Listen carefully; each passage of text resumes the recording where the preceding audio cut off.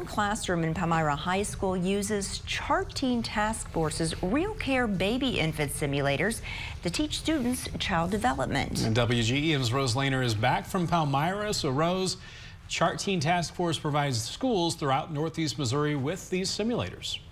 That's right, Daniel. Palmyra High School staff say the $1,200 baby simulators are used and rotated to several high schools in the area. The simulators act like real babies. Students quickly learn how to support a child's basic needs and problem solve when the baby cries. Staff say the hands-on experience with the simulators teaches them more about childcare than a regular textbook. Staff say they want students to understand the importance of childcare so they can be prepared in the future. So in child development, we talk a lot about even if you don't want kids yourself, it's important to understand kids' needs and how kids grow and develop. So I think the simulators really drive home that fact of there are needs and you have to meet those basic needs.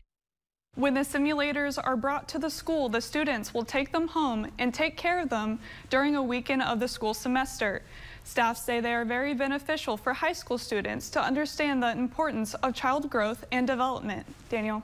All right, thanks, Rose. And uh, Palmyra High School uh, students expect to receive the baby simulators again in April.